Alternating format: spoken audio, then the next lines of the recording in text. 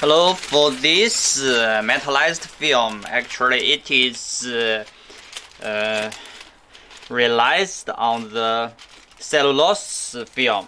Cellulose film is usually considered clear, which is made of plant fiber that is fully compostable.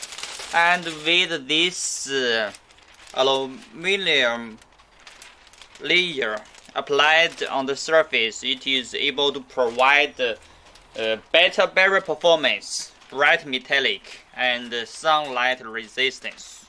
That is uh, very suitable for the materials in compostable uh, barrier packages.